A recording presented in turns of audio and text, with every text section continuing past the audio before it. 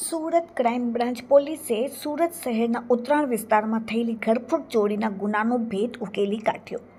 Surat crime બ્રાન્ચે ઘરફોડ ચોરીના આરોપી કિશોર વિઠોલ માંગુકિયા, રહેવાસી પૂણા ગામ અને મૂળ વતન તળાજા ભાવનગરવાળાને ચોરીના મુદ્દામાલ સાથે ઝડપી પાડ્યો.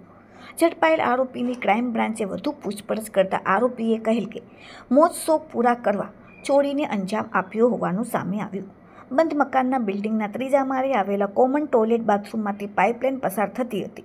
તેના સહારે નીચે બીજા માળે ઉતરી મકાનમાં પ્રવેશ કરી ચોરીને અંજામ આપ્યો હોવાનું પોલીસ સમક્ષ કબૂલ્યું. ક્રાઇમ બ્રાન્ચે ઉત્તરાયણ પોલીસ સ્ટેશનમાં નોંધાયેલ ચોરીના ગુના અનુસંધાને આરોપીનો કબજો ઉત્તરાયણ પોલીસને સોંપવાની તજવીજ હાથ ધરી છે. સુરત ક્રાઇમ બ્રાન્ચે રૂપિયા ત્રણ લાખ સિત્તેર હજારના મુદ્દામાલ સાથે ગળફોડ ચોરીના આરોપીને ઝડપી પાડ્યો. Bureau report daily India TV, Surat.